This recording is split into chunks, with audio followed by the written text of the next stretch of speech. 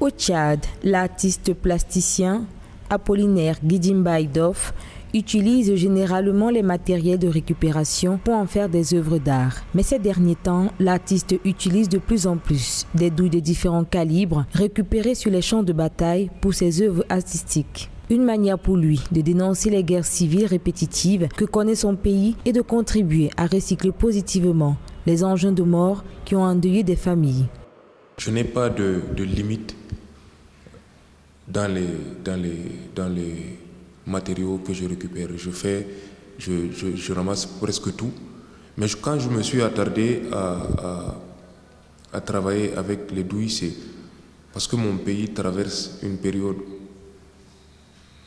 difficile où tout le monde doit s'y mettre pour essayer de donner un message pour qu'il y ait une prise de conscience par rapport à tout ce qui se passe actuellement au Tchad et aussi en Afrique. L'artiste plasticien forge une réputation au-delà de son pays pour son engagement en faveur de la lutte contre la pollution, de l'environnement et l'utilisation abusive des armes à feu dans les conflits internes des pays africains. Il ne cesse d'appeler par ses œuvres les politiques à envisager des solutions pacifiques pour désamorcer des différends internes.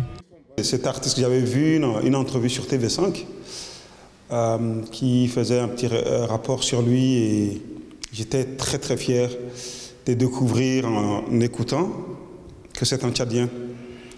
Euh, il y a une approche très sincère et avec une tendance, je vous dirais, futuriste pour rappel, l'artiste apollinaire Gidim Baidov a fait une dizaine d'expositions de ses œuvres dans des prestigieuses galeries en Afrique et en Europe. De nos jours, en partenariat avec d'autres artistes nationaux et internationaux, il travaille sur plusieurs projets dans le sens de la cohabitation pacifique et de la cohésion sociale en Afrique.